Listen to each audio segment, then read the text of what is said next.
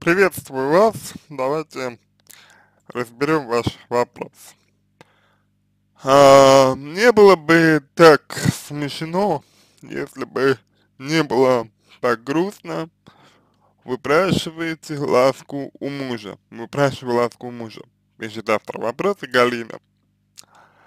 Два года назад у мужа диагностировали простатит. Лечение получал, и проблем с интимной жизнью до настоящего времени не было. Но вот последний месяц приходится в прямом э, смысле выпрашивать секс хотя бы раз в неделю. В этом случае возможно предположить измену, но работаем вместе, выходные проводим вместе, все выходные в деревне э, на, на строительстве дома.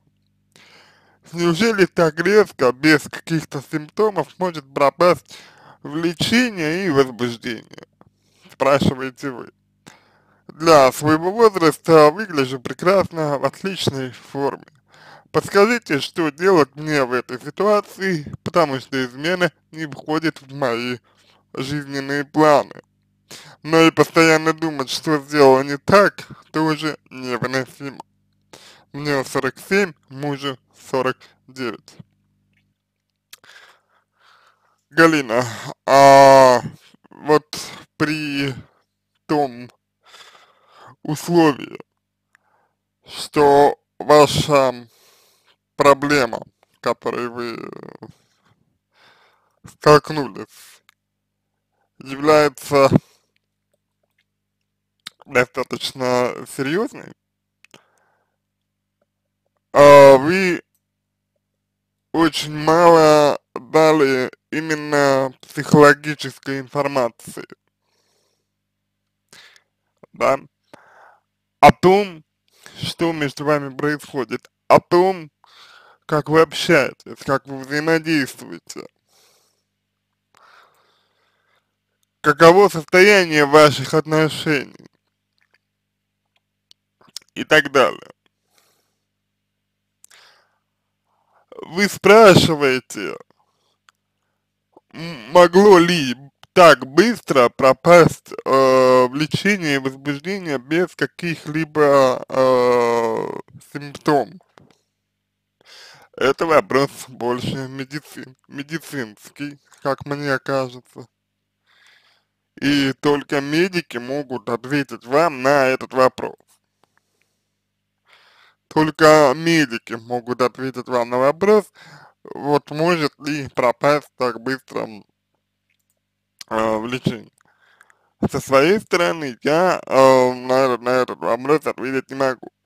Но я могу сказать, что то, что вы, как вы говорите, просите ласку у мужа,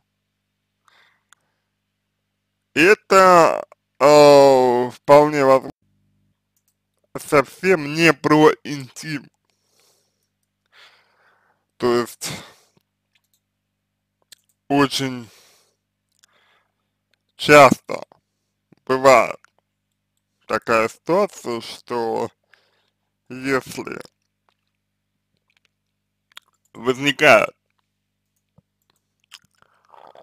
э, упрашивание, расспрашивание, то речь идет скорее больше о власти.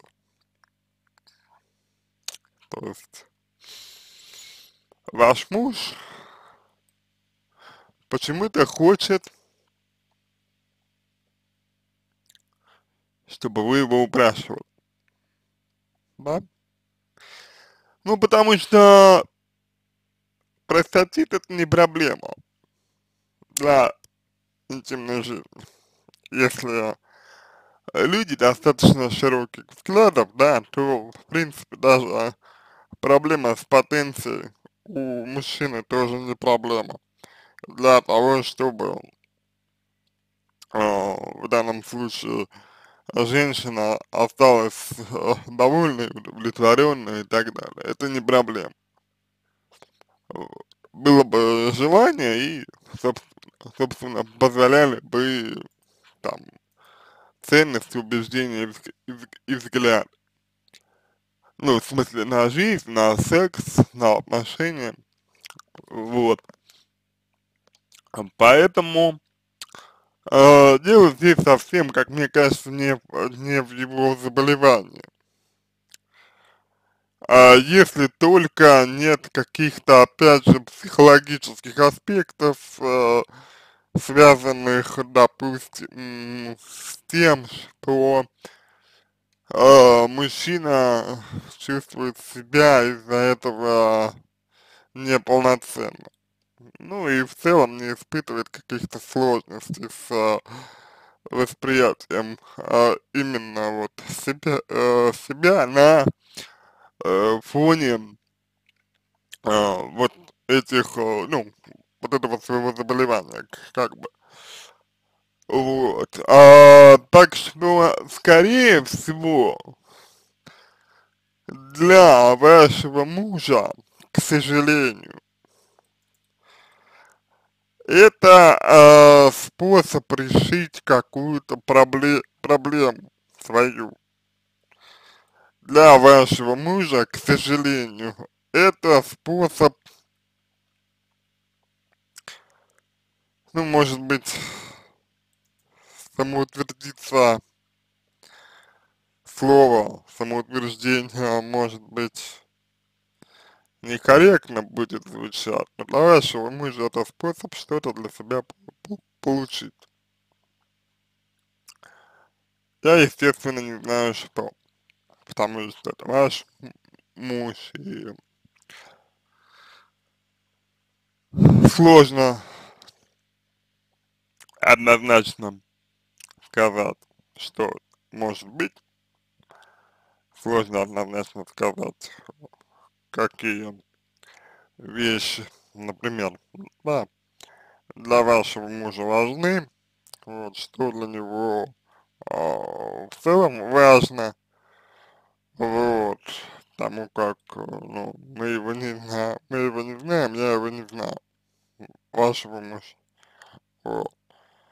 Поэтому я бы сказал, что вот с точки зрения психологии, да, как это обычно бывает, тут имеет, имеет место быть именно история про а, вот, получение э, чего-то для себя. А секс используется как инструмент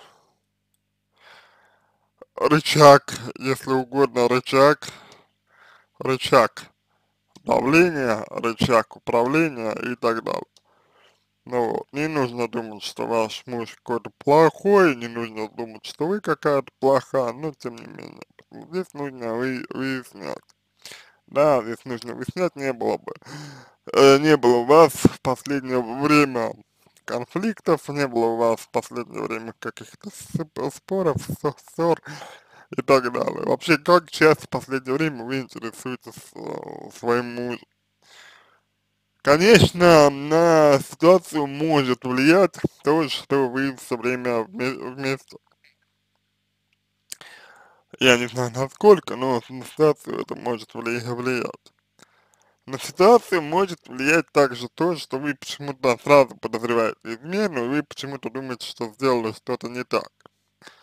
Это э, свидетельствует о вашей в целом тревожности, это свидетельствует о вашей в целом неуверенности в себе, к сожалению. Вот, и, наверное, даже, даже неком страхе. Вот и, соответственно, вам нужно поработать здесь с уверенностью в себе, потому что а, это чувствуется, ну, в смысле, вашим мужем, да, вполне может ощущаться, что вы вот не уверены в себе, да, и так далее. Вот. Э, э, следующий момент, это просьба. Знаете, как бы просьба вполне может быть, что именно вас унижают. вот вполне такая ситуация может быть, что именно вас, именно вас просьба унижает. И нужно учиться говорить по-другому. А не унижая, не унижая, грубо, ну, грубо говоря, да, не унижая, не принижая себя там и так далее. Вот. Этому тоже можно и нужно научиться. А следующий момент, важный тоже, считает ли ваш муж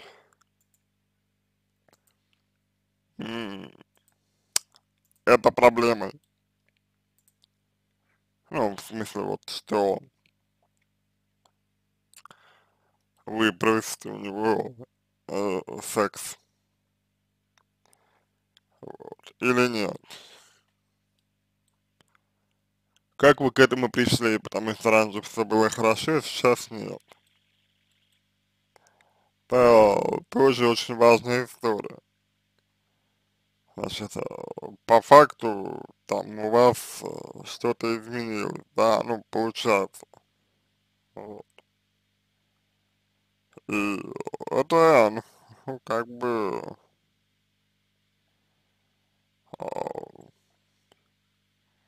нужно поисследовать. Если что-то изменилось, нужно понять, что именно изменилось. Вот. Э, потому что, опять же,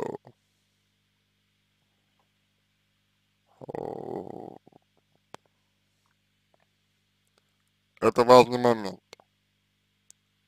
Ну, на мой взгляд, по крайней мере. Вот, пожалуй, то, что можно было бы вам ответить. Сейчас, с точки зрения психологии и точки зрения психотерапии, сперва нужно во всем разобраться, сперва нужно иметь полную картинку, которой сейчас, к сожалению, о, ну, лично у меня нет. Вот. И дальше уже можно будет э, говорить о том, что вы решите, как, как вам э, двигаться дальше. Вот. Потому что из этих данных, вот, ну именно вот из э, вот тех данных, которые вы а, озвучили. Из этих данных я бы сказал, что абсолютно не представляется возможным а, что-то вам рекомендовать в принципе, потому что полной картины нет.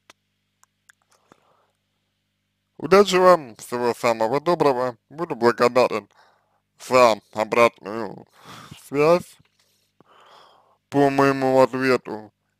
Это будет началом а, вашей работы над собой. Э, желаю вам всего самого доброго и удачи